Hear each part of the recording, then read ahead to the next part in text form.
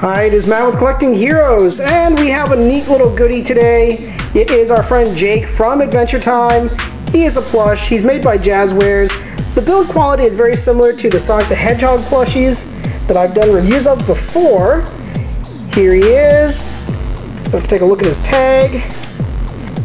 Ages 4 and up. Jake with Velcro wraparound arms.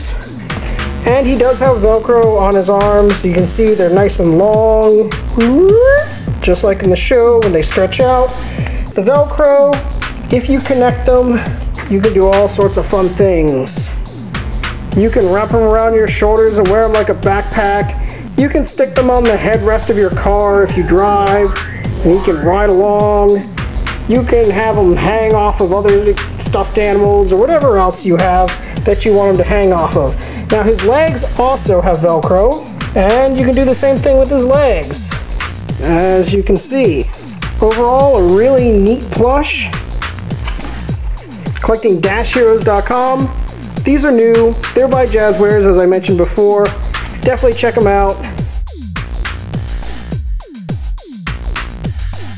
Cool stuff.